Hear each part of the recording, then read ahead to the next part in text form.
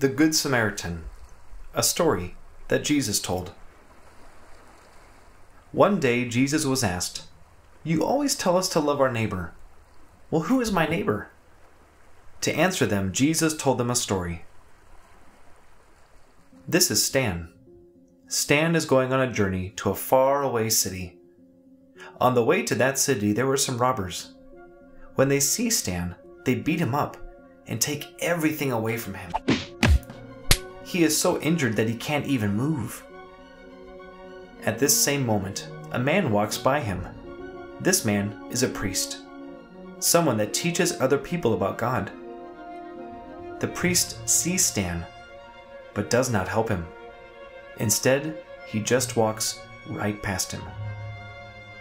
Later, a second man walks by Stan. This man is someone who works in the temple, a temple servant. He sees Stan and also notices that he is injured. But instead of helping Stan, he walks right past him, just like the priest. Finally, a third person walks by Stan. This man is a foreigner, a Samaritan. The Jewish people didn't like Samaritans because they practiced a different religion than the Jews. The Samaritan sees Stan and immediately runs to him. He takes care of his wounds and takes him to a hotel.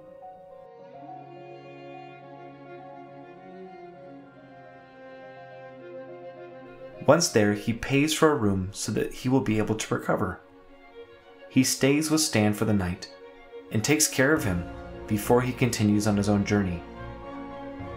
When he finished the story, Jesus asked his listeners, Who treated Stan like a neighbor? And they answered, The man who helped him. Jesus replied, That is right. You should do the same.